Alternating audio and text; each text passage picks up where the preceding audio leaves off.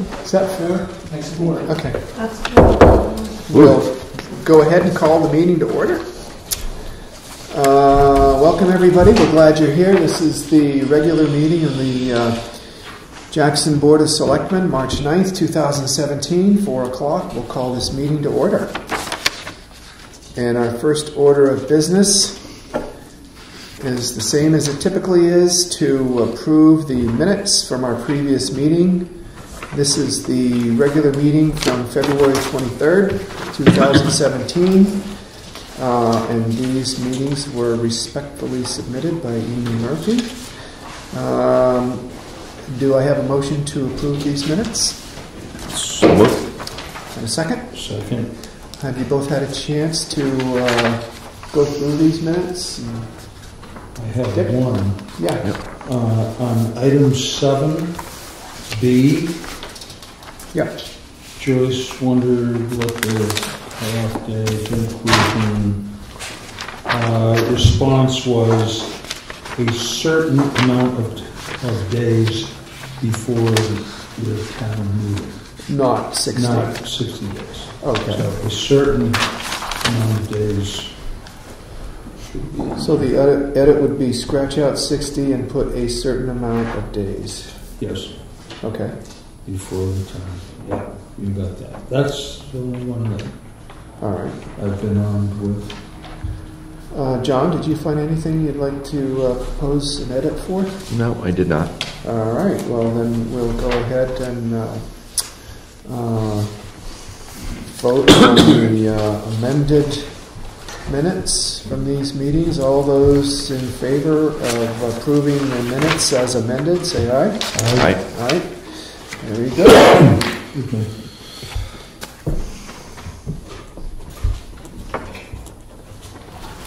There you go, sir.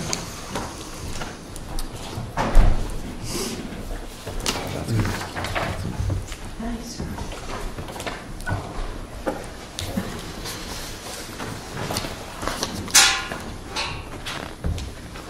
Thank you. All right, and uh, we don't have any action items to address today other than uh, Julie Hoyt. Uh, Did we get the specs from Pat on that backhoe yet? No. he doesn't- no. So he's still waiting for Well, them? it's Brenda. I Yeah, Brenda- she hasn't responded she's- yet. She hasn't responded. She, I mean, Okay. she just said she was gonna let us know that she has. Okay, well, maybe that means they didn't get them yet. Maybe we'll, we'll follow through on that between now and our next meeting, which will be after the annual meeting, that will address that again. And so, and then the uh, draft letter for the Nestlenook, was that you or was that Kevin? Or what? Kevin drafted the letter Okay, and um, he sent it, but I think he's also talked with um, Robert. Mr. Sear. okay, all right. So we'll, we'll uh, kind of Yeah. Table that. have the end of that conversation during the building inspector's report? Yes. Sounds good, thanks. Upcoming meetings. Big week next week. Tuesday, March 14th is uh, the date of town elections, and the polls are be will be open from 8 a.m. to 7 p.m. at the Whitney Center, as they are always are these days. And then uh, our annual town meeting will be Thursday, March 16th, and that begins at 7 p.m. Hope to see you all there. And then our last uh, gathering of the month of March will be Thursday, March 30th at 4 p.m. will be our next regular meeting right here in uh, in this room at 4 o'clock. And then uh, in April, we will meet on April 27th at 4 p.m. right here in this room. So move on from action items to agenda item number three, public comment. Anyone uh, have anything they'd like to comment on at this time? There's another spot down towards the end of the meeting if you do. Uh, that takes us right to building inspector's report. Kevin, you want to come up and rally around the table with us?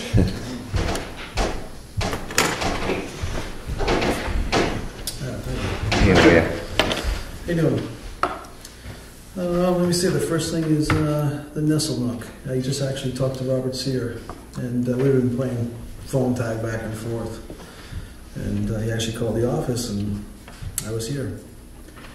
And um, so I sent out a letter to him, telling him that what buildings had to be renumbered, relettered, um, and to take off the old numbers, basically. That's what I told him on the phone.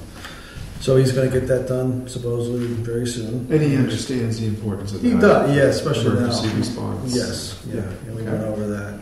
Great. And um, and then also there was a question about the gate in the class six. The lock. Right. Yeah. And um, so I guess there's a way so the fire department, and emergency services can get through the gate, either siren or a code. And that's all going to be programmed in there. The gate's not locked right now or anything, but I guess in the future it will be closed. And we found out that basically that that is a private road. There's there's references to a class six road, even from an attorney. It's really it depends how you interpret it. And uh, so I guess we're going to have a um, a road uh, meeting in April and um, talk about that. I guess one of the selectmen will be there. I don't know you guys know about that yet. Hmm. But and then the make, and, and after that, make sure um, at that point maybe get a letter drafted out and make sure it's classified as a private road for him. For We're gonna his- have Peter review the information after we have that meeting. right. Okay. And so, does that mean he has documentation that We're it's gonna not provide a what class we six have. We're gonna provide the deeds and the documents we have. to? Peter, Okay, and is so does Bob Sear saying he's in possession of documents that describe I think that there's a lot. Of st- I think there's a lot of stuff here that going through the, the different files Yeah. and maps and it's just someone to go through all that. and It takes time to put that Mhm. all together. Right. Um, it is, it's a little confusing. So. And, and can you explain one more time to me how the gate opens with a siren? Um, I guess there's a listening device on it, a microphone too, that sirens open it. I've, I've seen that before. Um, but then there's always the code. There should be a code punched in there for us that we can either have, and it'd probably be something simple. Because otherwise, I think the next thing too is there, there's probably is an override key, and the thing to do is to put a, well, we have those Knox boxes, Uh-huh. put a Knox box on it which has the key, and we can use the key too. And that's probably, you know, just thinking Cheapest way to about go. it, that's probably something that has to be, be Fast. done with the key, yeah. Yeah.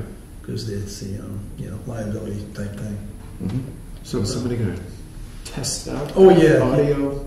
Well, uh, yeah, I think so, yeah. We usually, I- Okay. you know. Go up yeah. there and turn your siren on. and see Try what it, yeah, happens? because most emergency vehicles do have it. Okay. I mean, uh, Great. I mean, even Jake pulls up in his own private vehicle, so Mhm.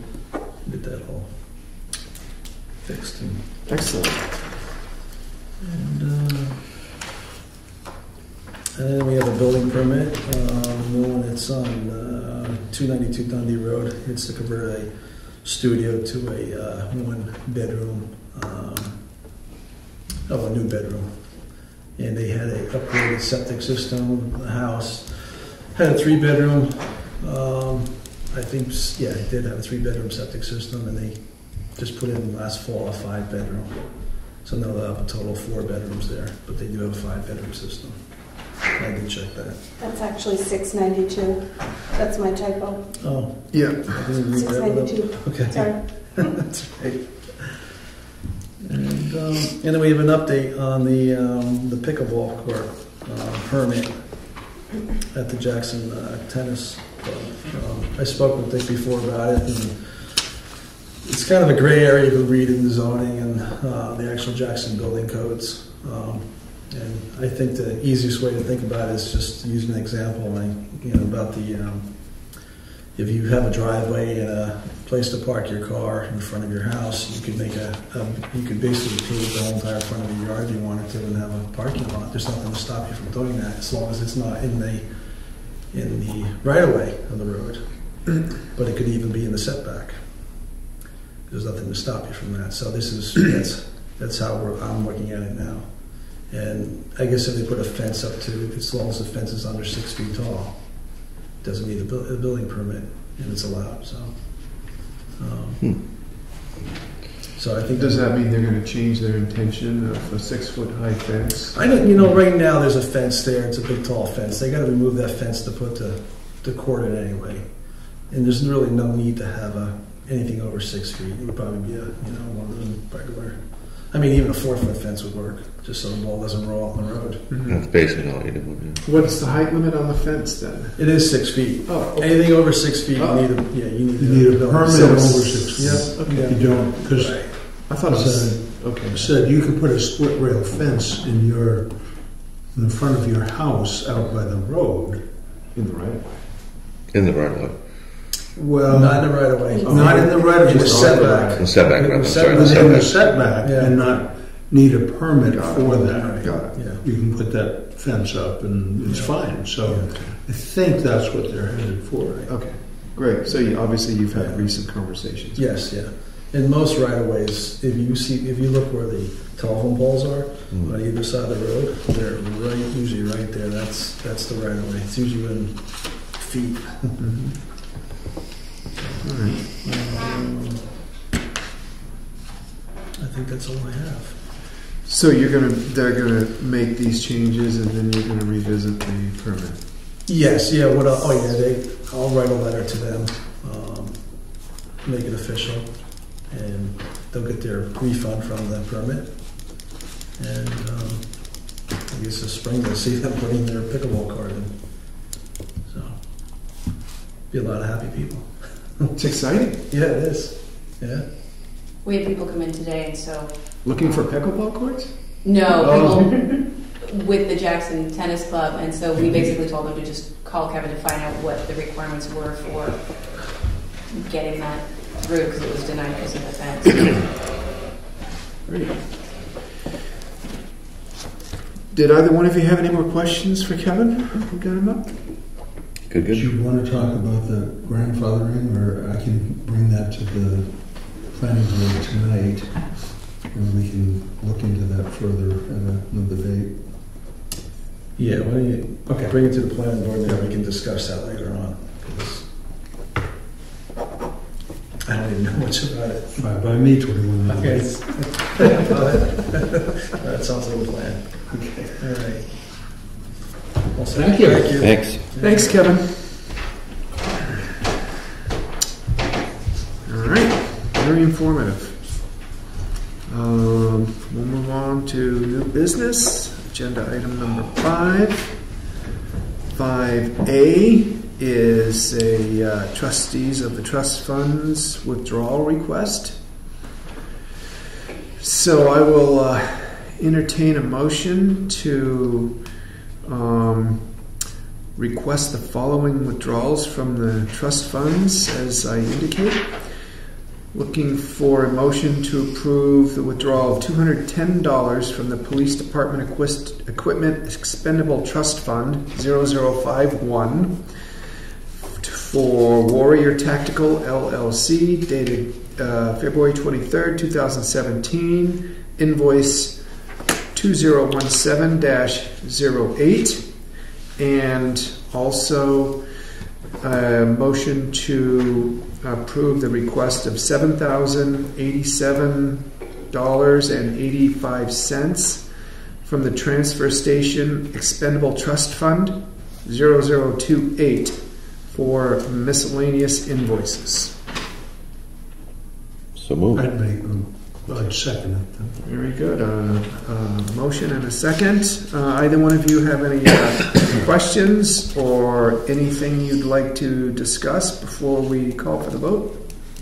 Nope. Okay. Very good. All those in favor say aye. Aye. Very good. Thank you.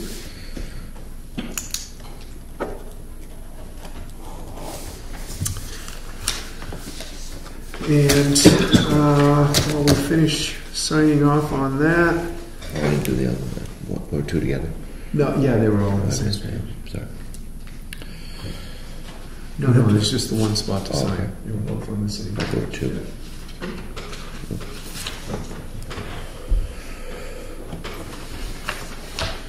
And the, uh, we've got a uh, Department of Revenue Administration uh, median equalization ratio here. And this is just uh, informing us that uh, Based on their most recent survey, they've determined a median ratio for the land, buildings, and manufactured housing in our municipality in tax year 2016 to be 93.6. I believe our 90, our 2015 ratio was 99.9, so, uh, which is typical that those adjustments are made throughout the year.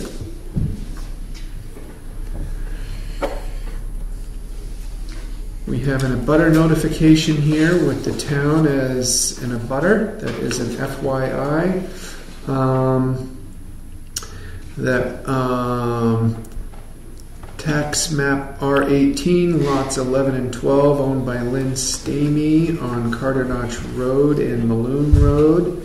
Uh, the applicant, Lynn Stamey, seeks to adjust the boundary line between lots R18, lot 11, and 12. So, um, that is the butter notification. Questions on that? I don't know. Okay. It's coming to the planning board, Yeah. No. Is that when's your next meeting? right? Oh, you sticking around for that? No. Me neither. Nice Um, guy. Right, I am gonna stick around for that meeting. all right. Excellent. That was good. He's so pleased with himself. Got me on that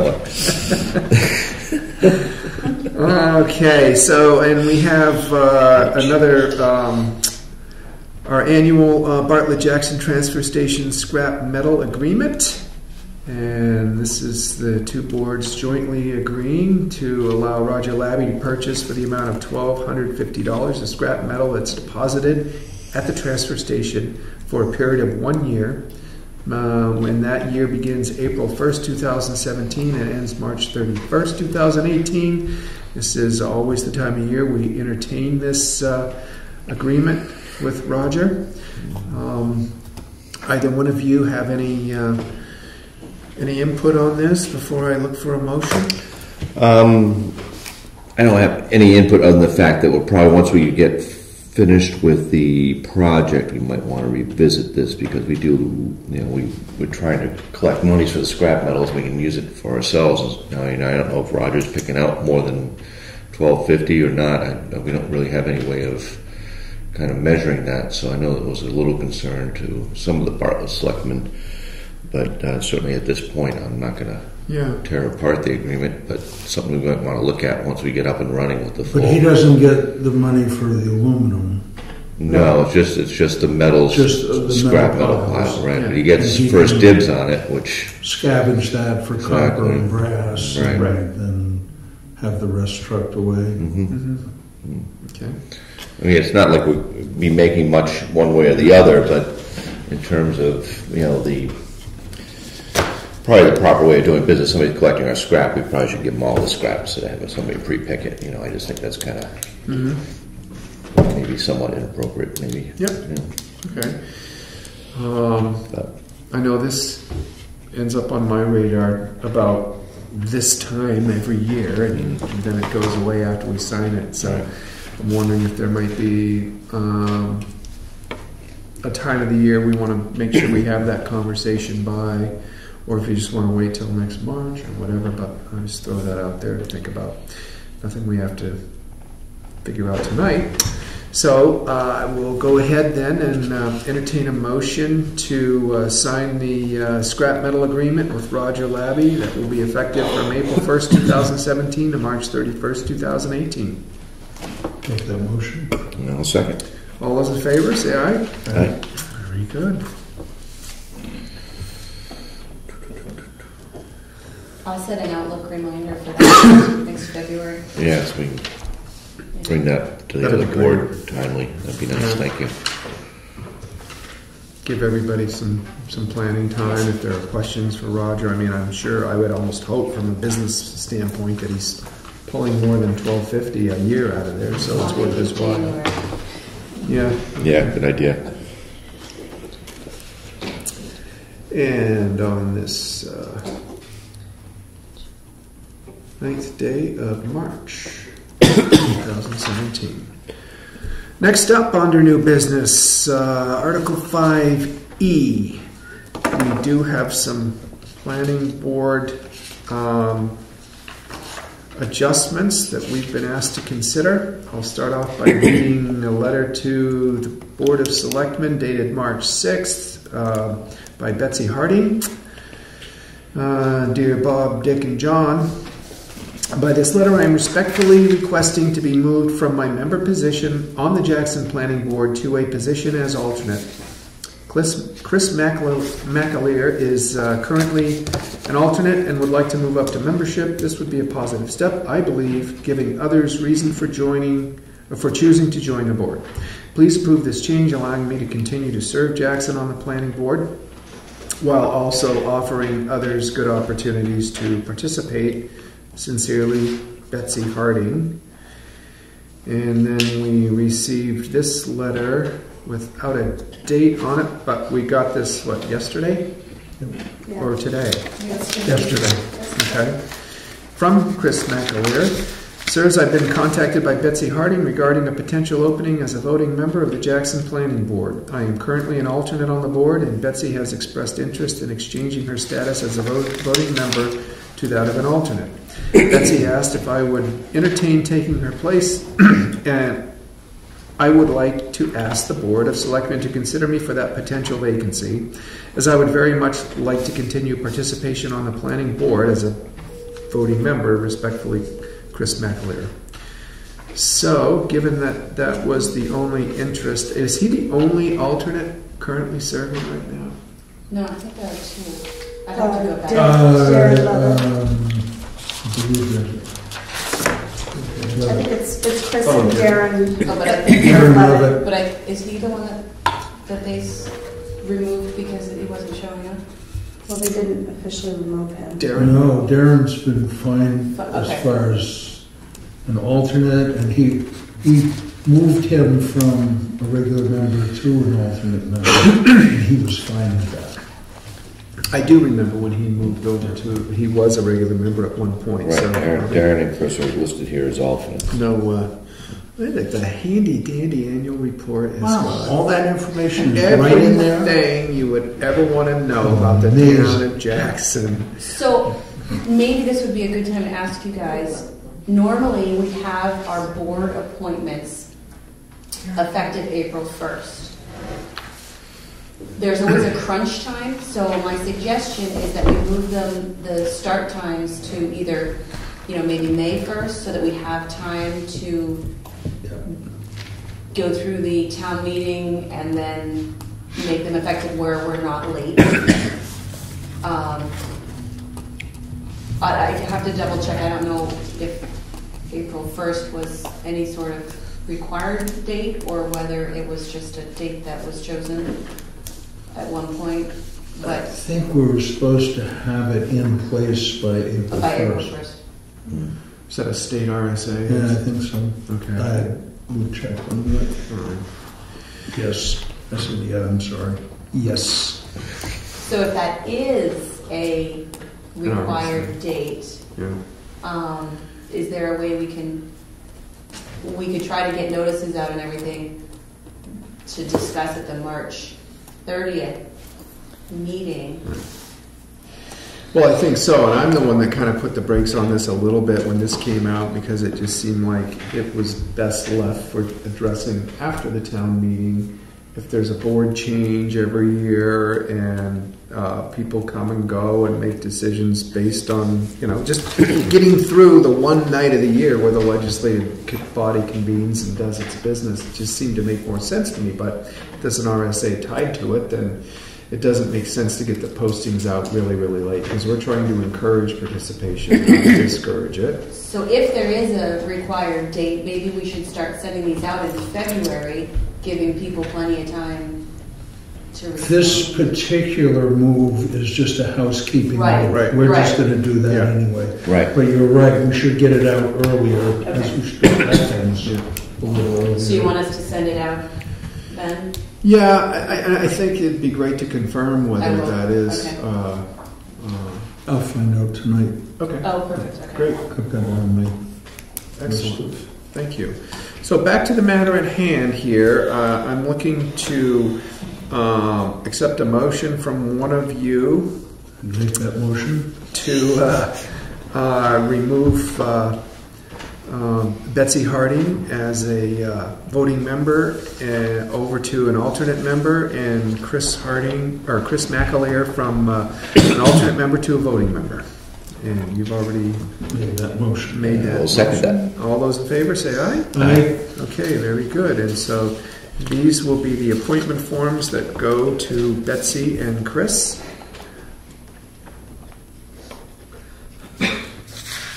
Does the alternate have to be sworn in? Mm-hmm. I think so. Yeah, because Does Betsy have to re-swear in as with a different You're supposed to status? re-swear I don't think Beth will every swear. time you're in. I swear all the time. I'm him. You make up for it. Yeah. Okay. And I am sworn up. Yes, you are. Yes, you are. Okay. Um, and Yes. we'll uh, get them in to do their thing. Probably just swear them in at the town meeting if they're both going to be there. Good, yeah.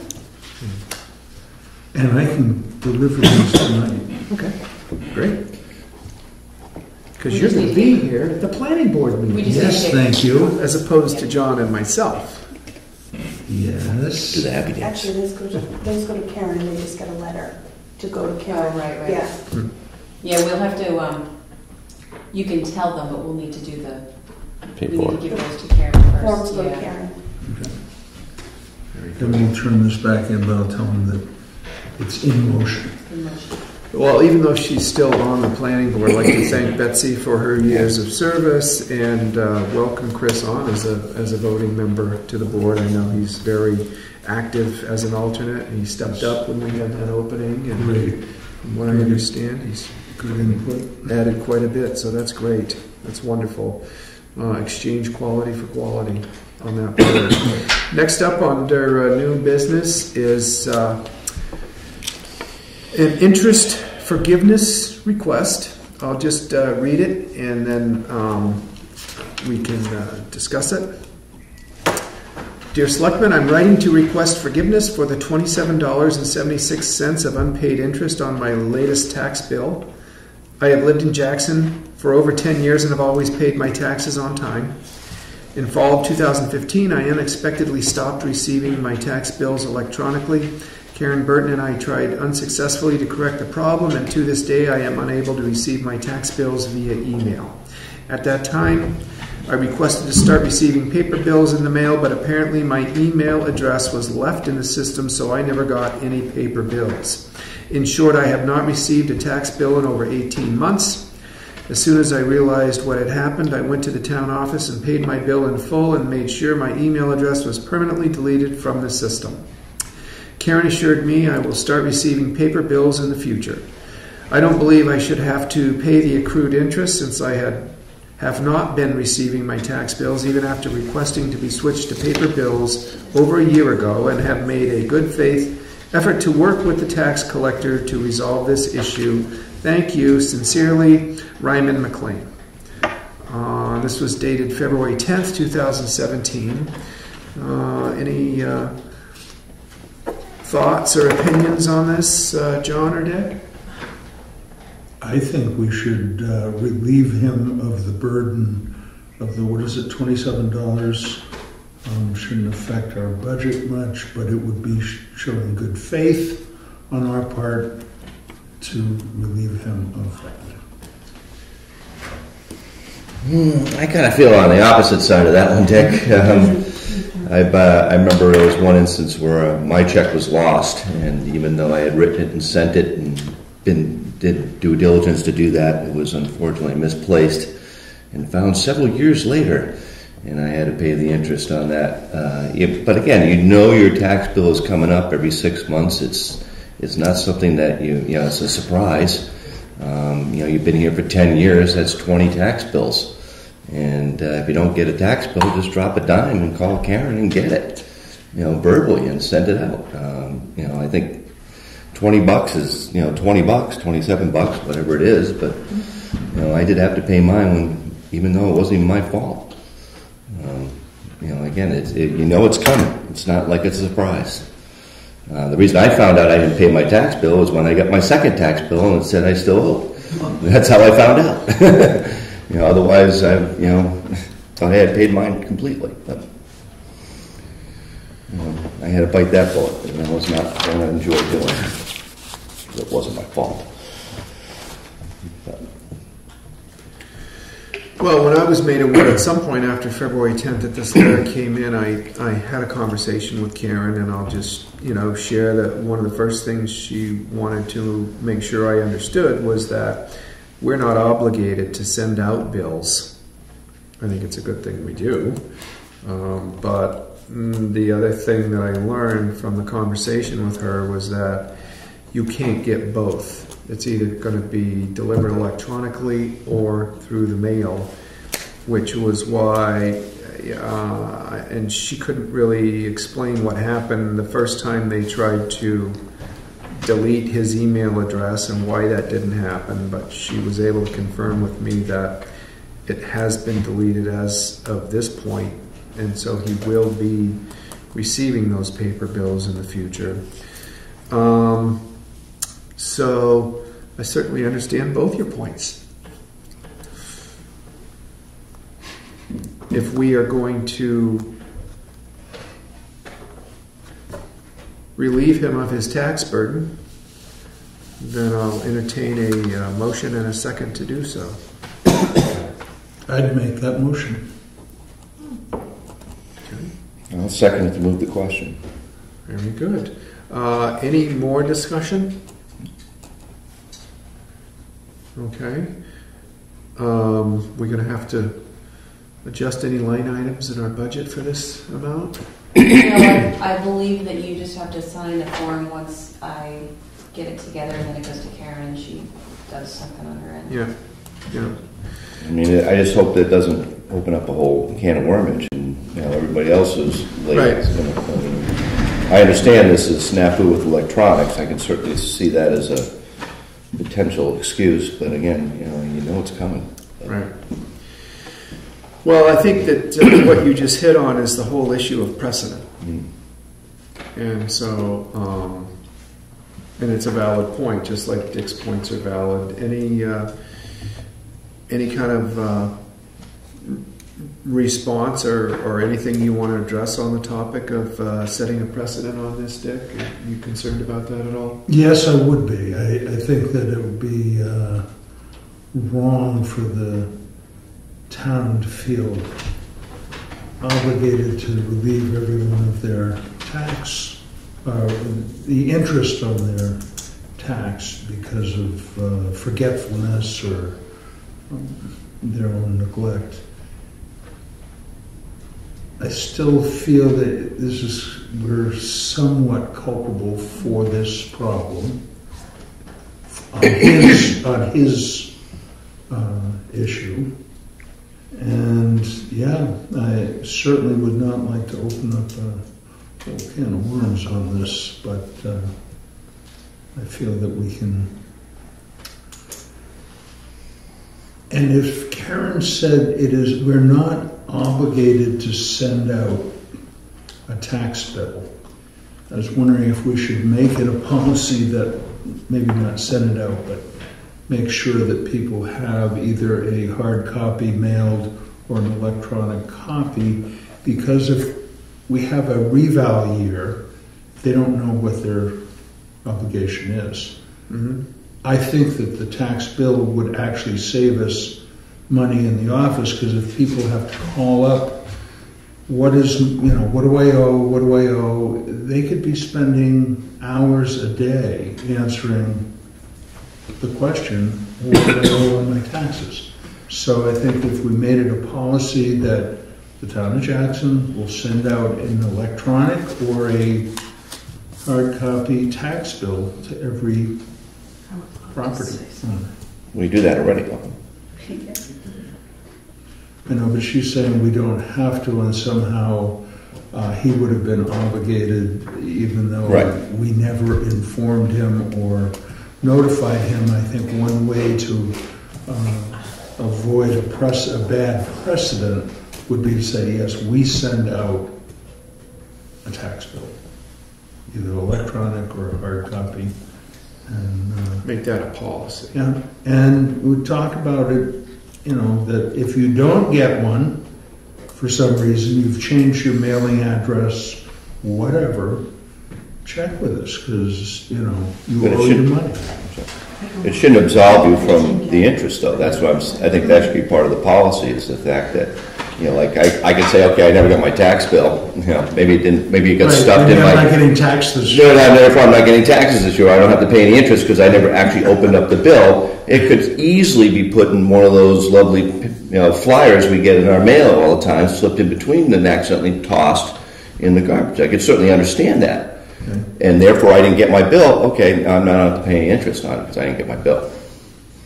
You know, I think, you know, we have to be careful about that. You can access it in two minutes, though.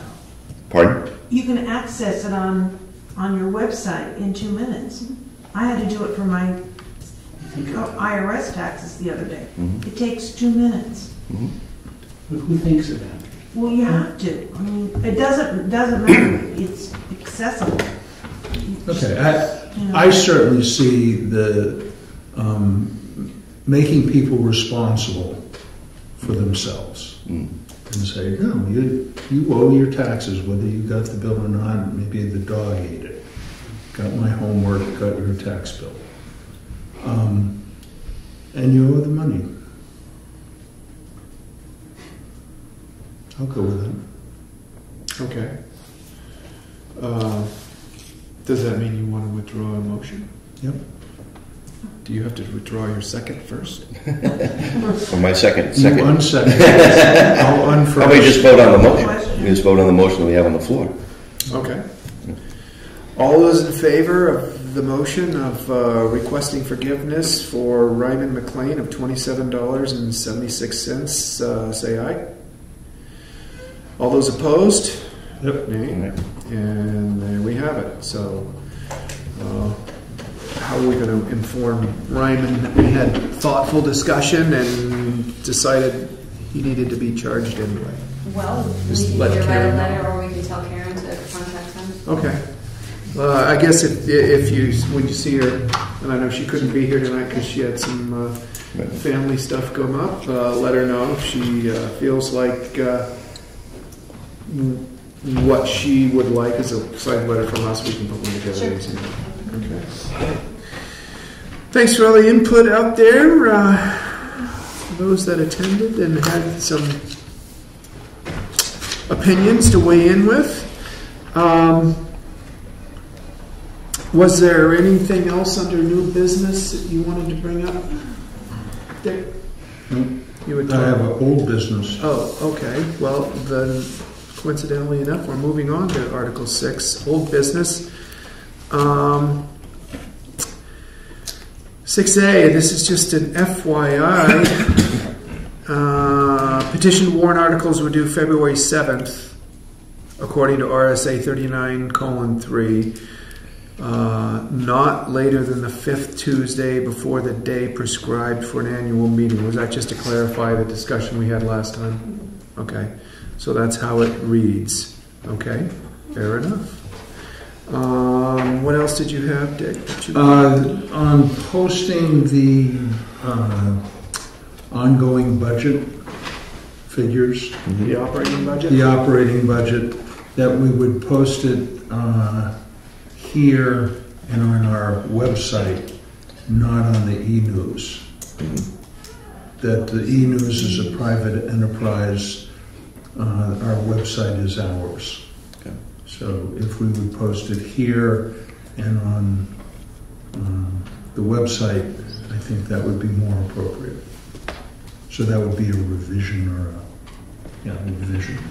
Sounds good. Does that make sense to you, John? Yeah. All right. Did you still want it Um, monthly? Did you still want it monthly? Monthly or Yes. quarterly? I would do it quarterly. I'm happy with, you know, quarterly accounting. I think that's plenty. Because anyone that still comes in, they. And you can still get the information in between if you need it, but I think quarterly would be fine. Yeah, the numbers are produced every payroll anyways, right? Every week. Uh, The yeah, full I mean, sheet, if the someone full were- sheet, If yeah. someone were to come in and request a copy, yeah. Yeah. Mhm. We did not uh, make that decision with a motion and a second and a vote, if I remember correctly, at our last meeting. That we would post, we just kind of said we would. Mhm. So I'm thinking therefore we don't necessarily need to make that revision with a motion and a second and a vote. I just say we will. Okay, great. Excellent. All right. That's it for old business that I have. Um, down to agenda item number seven, public comments again. Anybody? Hank? What's up? Stare down. None. All right. Fair enough. Hearing none, then I'll uh, entertain a motion to adjourn. Let's Make that motion. A second. All those in favor say aye. Aye.